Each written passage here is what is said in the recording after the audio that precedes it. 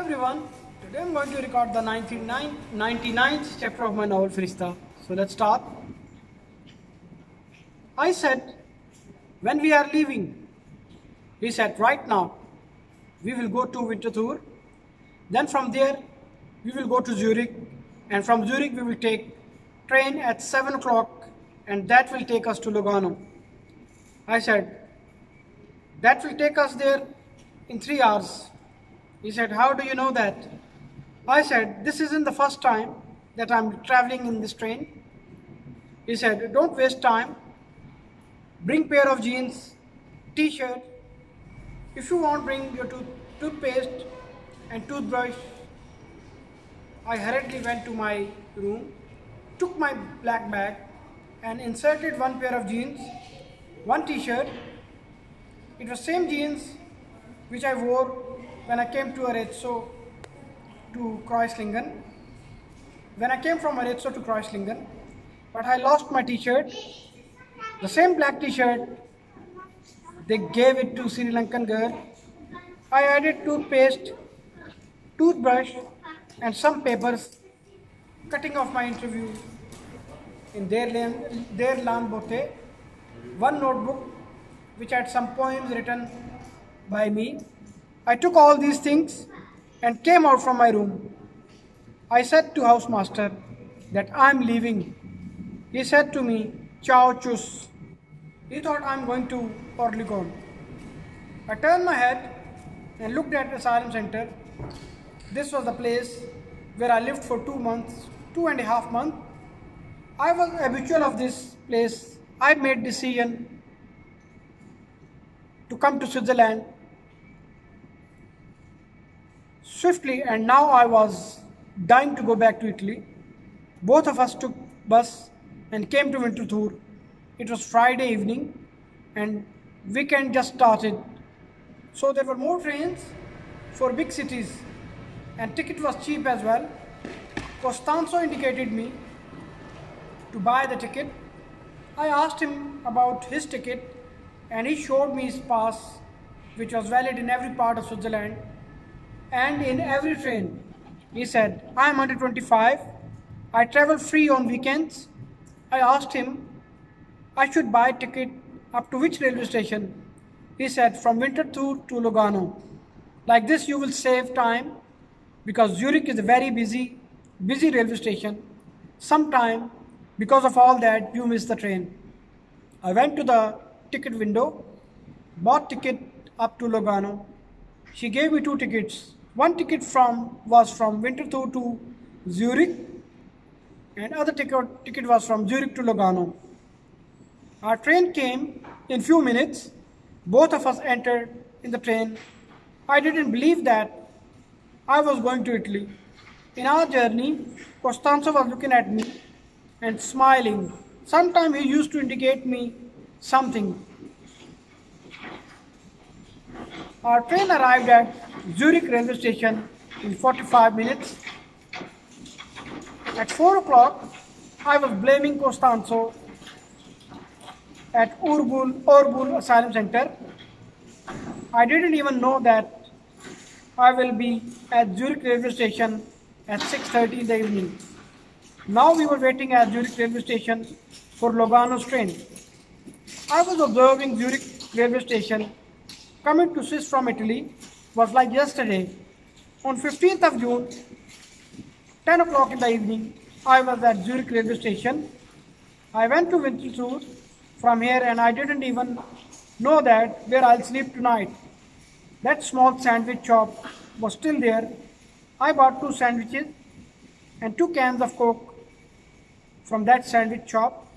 One sandwich and uh, can of coke I gave to Costanzo and I ate the second one. As we were eating, train for Lugano came at the platform. I still didn't believe that I'm going to Italy because we were still in Switzerland. As I sat in the train, a fat man who was sitting next to me, he said, it's very hot today. He said to me, very hot as weather. As weather was not as weather was hot, because of me. I answered him, Yes, it's hot, but when train will move, then temperature will be fine. Costanzo was looking at me in an admiring way. That fat man told me that he is American citizen and he is against George W. Bush. Then he said, Bush is the world's biggest terrorist and Osama bin Laden is a very nice man. We talked till late. He was working for some private, private channel and came to Switzerland for making some documentary film. He was praising Osama bin Laden and cursing George W. Bush because I told him that I am from Pakistan. I learned so many things from Raza, so now I used to laugh on such type of discussions. He bored me during our travel. He was going to Italy and I had to get off at Lugano. Me too. I was going to Italy, but I wasn't American like him. Neither I was citizen of European Union. Our train arrived at Lugano railway station exactly at 10.15 in the evening. Even I came at this railway station three months before, but at that time I didn't know my destination. Although I didn't know anything about my next destination, I wasn't sure that I will reach Italy or I will have to come back to Oerlikon. Costanzo didn't know what was in my mind. He didn't know any language to communicate with me. We came from railway station. He explained me in sign language that we are going to stay at his friend's house. I asked him, aren't we going to Italy? Then he explained me, tonight we will stay at Lugano. Then 6 o'clock in the morning, we will leave for Italy. After that, I kept quiet. I whispered in a very low voice, Wherever my destination will take me, I will go. I was walking behind Costanzo, the signboard of Lugano. The signboards of Lugano were in Italian language. Streets, roads, signs, shops, restaurants, every name was in Italian. It seemed like that an Italian village. The construction style was Italian. This, Swiss canton is called Ticino. Lugano is one of the city of Ticino, Ticino canton. They speak Italian in this canton. I was busy in my thought and walking behind Costanzo. He was walking in the streets of Lugano as he was the resident of this area or he was living here since ages. He stopped in front of multi-story building. There must have been 10 floors. There were quite a lot of bells outside. He pressed one of them. The door was open. We entered inside. At first floor of that building, there was a small room and one person was sitting inside. Costanzo explained him that he came to see someone. He asked on intercom and that person told him that they came to see me. They can come to my room. According to this building rule, you were allowed to see your person, your friends on weekend. You were even allowed to stay here for one day or two nights. But you must inform concierge, concierge before go upstairs. Costanzo explained in sign language that he already informed his friend that he's coming with someone, but I didn't tell him that you are going to Italy. I said, you don't need to worry. I won't mention him about this. When concierge said okay, then we took lift and arrived at third floor. Costanzo's friend was waiting for us. Costanzo told him that I am from Pakistan. He is my friend. We live together in Orgul Asylum Center. Costanzo's friend was aware of Italian language, so I, I easily explained him everything.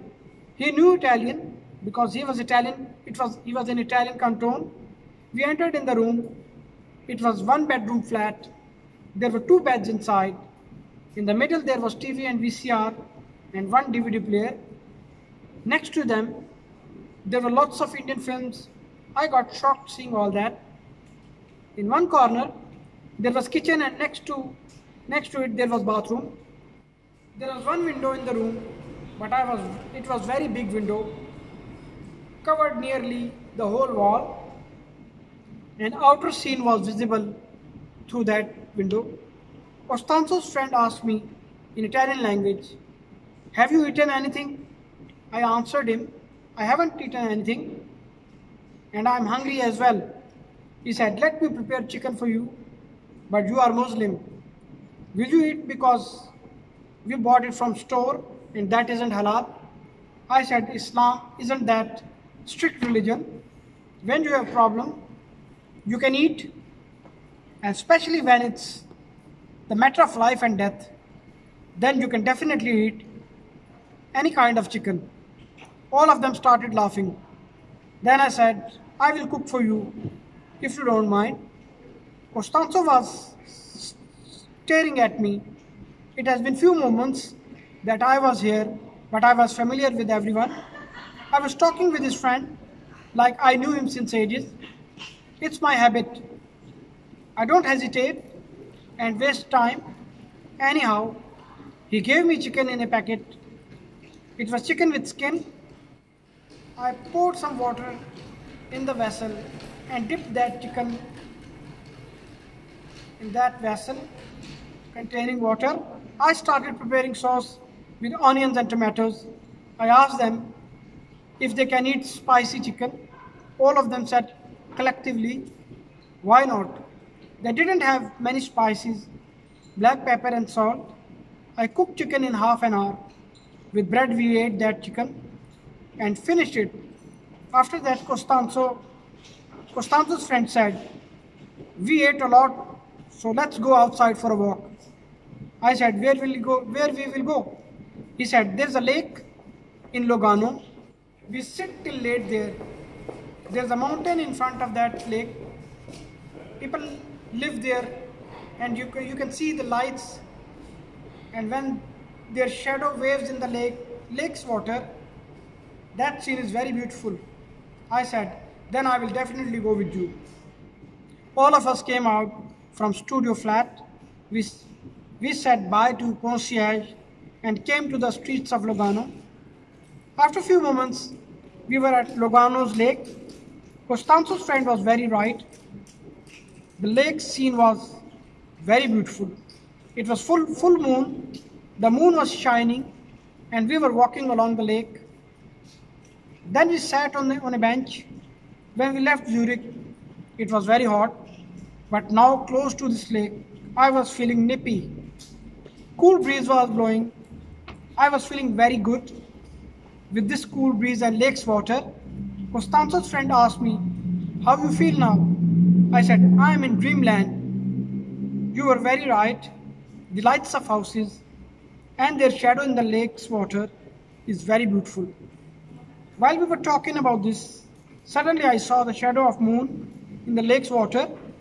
The moon's shadow used to appear and disappear because of waves. I felt he was ashamed of seeing us, so he was hiding himself from us. I thought of Indian song and I got amazed of poet's imagination. I don't know how many people might have seen moon's shadow in water or lake, but nobody thought in this way. The meaning of the verse was that when I embraced my girlfriend and when moon saw us so close, he, sorry, he felt shame looking at us. So in lake's water, he tried to hide himself. Costanzo's friend asked me, What are you thinking? I said, Nothing. I was thinking if I wouldn't have seen Lugano's lake, then coming to Switzerland would have been useless. We sat next to lake till late. When we arrived home, I asked Costanzo, when we will go to Italy from Lugano. He said, in the morning. Now you take some rest because we will leave early in the morning. Thank you very much. I hope you like my video. Like my video, subscribe my channel and press the bell icon. Thank you.